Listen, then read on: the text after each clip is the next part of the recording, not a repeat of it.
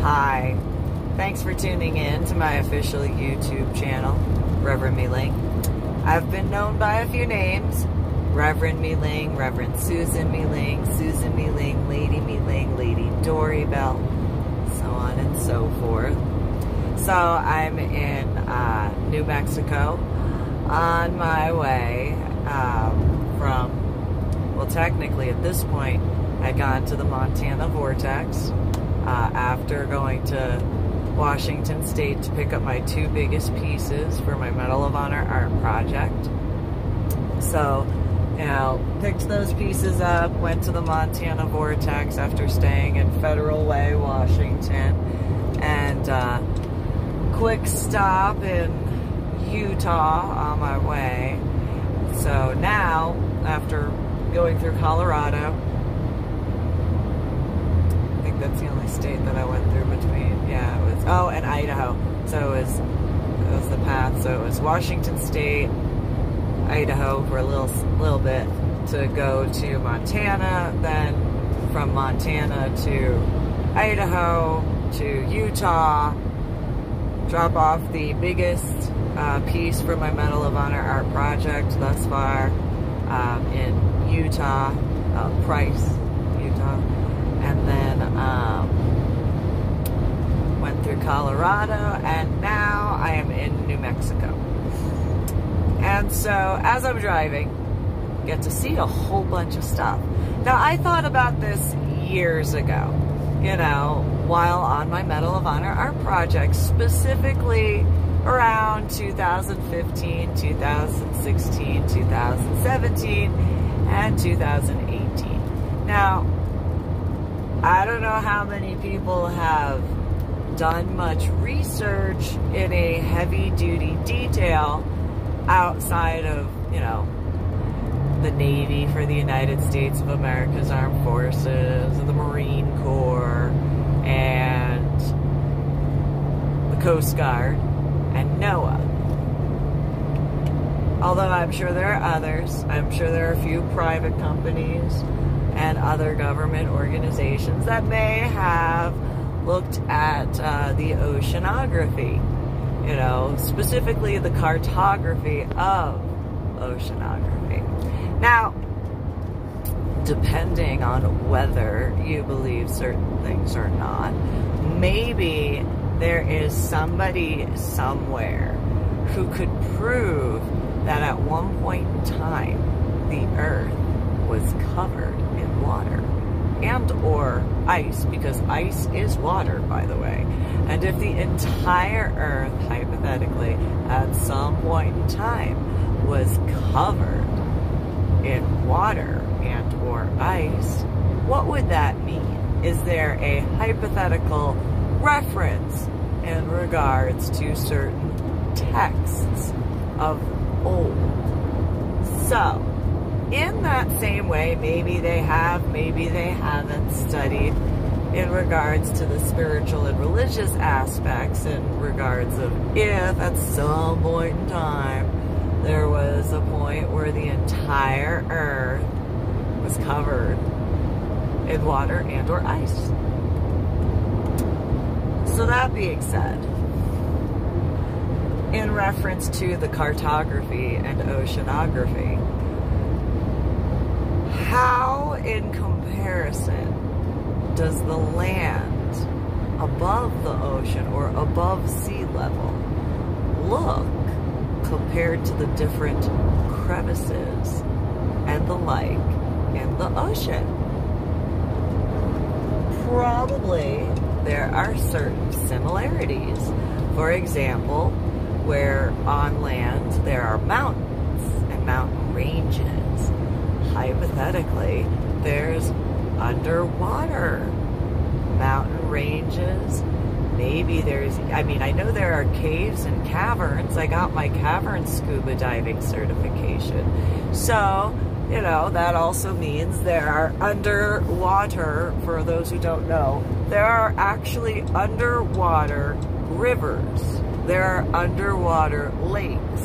There are underwater streams because they go in a different current flow than the water above or around, depending on where it's at. So, hypothetically speaking, certain references. When you look at someplace, so I am in New Mexico, however, the more well known area for a larger region in ways that could be described of such would be in Arizona, right? There's the Grand Canyon, right? Whole bunch of really tall mountains. There's like a a balanced kind of erosion along the sides, hypothetically, that you could see like in certain regards a recession in water, right? And so there'd be certain similarities between the makeup in regards to cartography and inside of the oceanography area, right? And so, you know, with all of the mountain ranges that have been driving through, um, not just in New Mexico, but, you know, essentially what I have been driving from Washington State through Idaho to Montana and Utah and Colorado and New Mexico is considered the Rocky Mountain Range, correct? Rhetorical question, yes. Don't believe it's the Appalachian Mountains. I believe that's on the East Coast. So, in that regard, you could almost if hypothetically there was a point in time where the entire earth was covered in water and or ice you could look at the continent of just the United States of America and consider how the middle America sections could be viewed between the two different main mountain ranges with the flatland area of an above the water view in certain references of a shorter area of the Matthias Abyss. So that way you can have an idea. Because it's not the only area in the globe of the earth that has an abyss, right? There are a few. And so I would even guesstimate the ideal way to actually describe, in certain regards, the Marianas Trench would be more along the lines of the Grand Canyon for a shorter version in regards to depth, correct?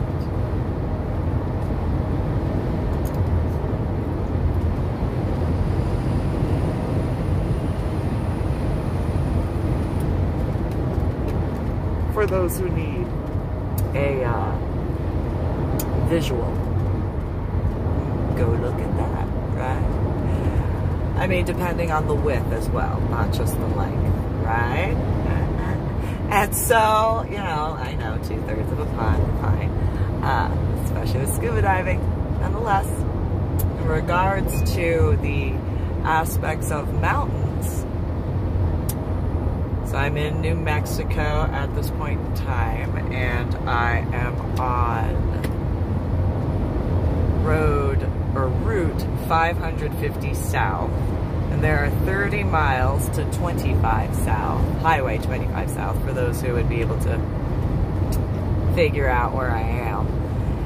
And so the mountain ranges in the vicinity that I'm driving for those who have the ability to go from where the roadway is to the top of the mountain like off to the left could be the equivalent of just the home for the Vandenberg, right?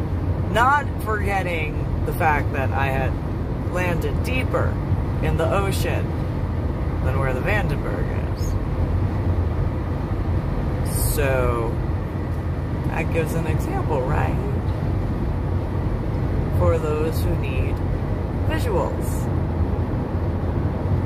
to understand the depths that I had scuba dove in reference to the Vandenberg when I landed in the Matthias Abyss on a different level than where the Vandenberg is. So if you need an understanding in regards to that visual, then you could take in comparison one of the mountains on either side and then that top area being where the Vandenberg is sitting in comparison for a visual. And then deep in the valley where the gullies are that would be where one of the shelves would be, and then the next one down would be where the ships that I took the pictures of are at when I landed at the bottom of the ocean when scuba diving in August of 2009 so that you have a better visual understanding.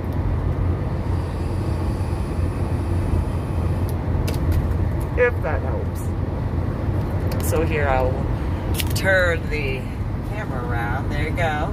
So the very tippity tippity top of those mountains up there, that would be the equivalent of where the Vandenberg would be sitting in a much smaller scale because obviously the ocean is deeper than that. So, down where, you know, there's flatland, which doesn't technically give the best, you know, in regards, but it gives enough of a scale example. That would be one of these shelves, and then you'd have another level of shelves to go before getting to where I landed when I went scuba diving in August of 2009 at the Vandenberg. Does that make more sense? Does that assist? Whoops. Drop that. Um, does that assist for those who needed a visual for a better understanding in regards to how deep in the ocean because that's only just where the Vandenberg would be sitting. You got to remember, then you got the height of the Vandenberg from the keel to the hull to the deck to the tippity tippity top of the most tower point. And then you have all of that extra ocean between the top portion of the tower of the Vandenberg all the way to the top of the surface of the ocean.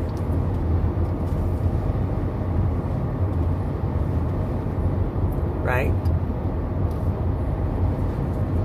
Correct. So, hopefully, that quick little lesson explains in a minute way of how deep in the ocean I was when I went to the Vandenberg in August of 2009. As another example, you can look at desert terrain, right? And that picture that I took of the floor of the bottom of the ocean, you could take in the reference of desert terrain where there's cracks and stuff. That would give you a similar view just in a different color, right? For understanding, it's very similar in that regard when you think about how that looks.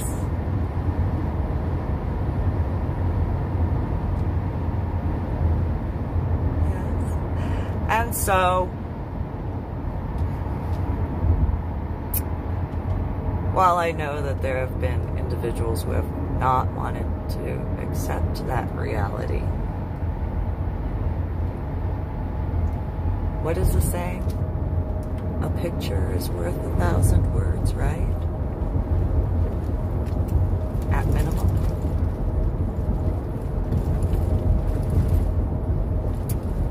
So,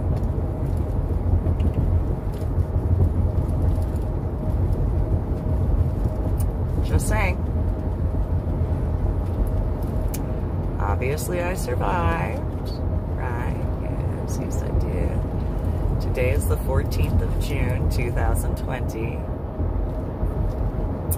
It's been just under 11 years since surfacing from that scuba dive.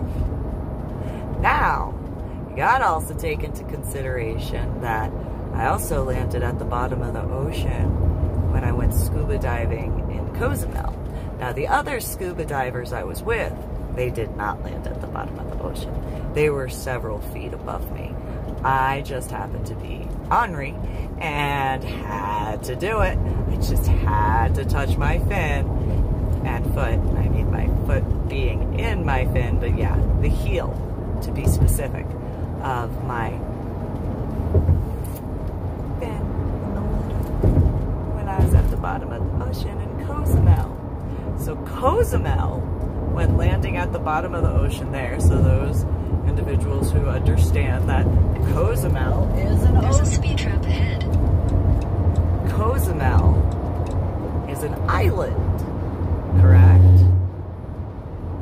And so, with Cozumel being an island, the actual aspect in a smaller way would actually be the mountains that I showed you. Because the top of those mountains would be the equivalent of the top of those islands. And the gullies being what is essentially left of the continental shelf for those regions that have the island aspect. And so, you know, just saying. So, these are shorter mountains that I'm passing through right now. But giving again a reference point, and obviously, islands, depending on, have a larger area of flatland at the top, depending on the size of the ocean. But you can take that as an example in reference to on land for a visual. So if you, hold on, I'll take it. On there. So, got that mountain range off to the side over there. See that flat level on top? There's a gully in between the taller mountains and then the ones closer to where I'm at. And you could see that that would mean smaller version because yes in the ocean it is much deeper obviously than on land. So you know while the scuba divers i was scuba diving with in cozumel were several feet above where i landed because i am the way i am i'm ornery um, that does not deny the fact of where I landed when it came and comes to the Vandenberg. Which obviously is much deeper than landing at the bottom of the ocean when scuba diving in Cozumel. Now, here's the kicker the first deepest dive would be when I went to the Vandenberg. That would be the deepest scuba dive, obviously the second deepest scuba dive would be when leaving from Boca Raton. That would be the second deepest. And that would have been with the professional underwater photographer, where that individual and I, the male and I, had landed at the bottom of the ocean.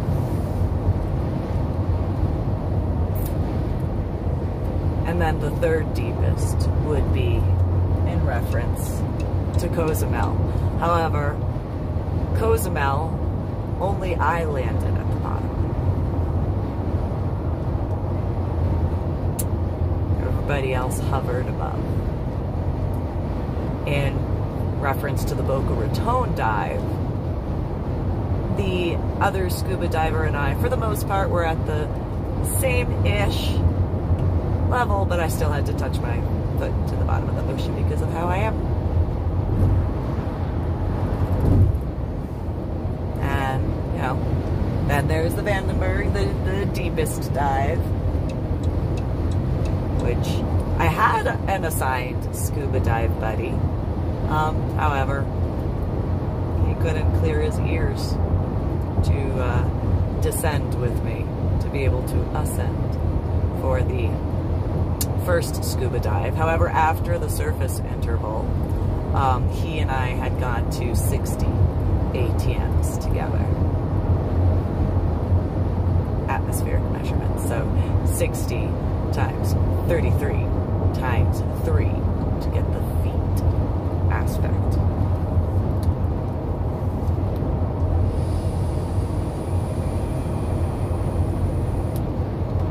I hope this particular official YouTube video of mine assists to explain a little bit better in conjunction with video. So that way you could have some visual examples, not necessarily to scale them. Hopefully that helps. Comment, like, share, and subscribe to my official YouTube channel. You guys have a good.